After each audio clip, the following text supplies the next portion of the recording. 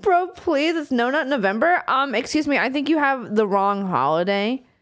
Um, from my understanding, at least from what I saw from the trending page, it is um it is this holiday called uh non-stop nut November. So I don't know what fucking satanic devil holiday that you're celebrating but I'm pretty sure that this is the holiday that we're celebrating. Okay, so you need to go get your eyes checked and reread the holiday. Okay.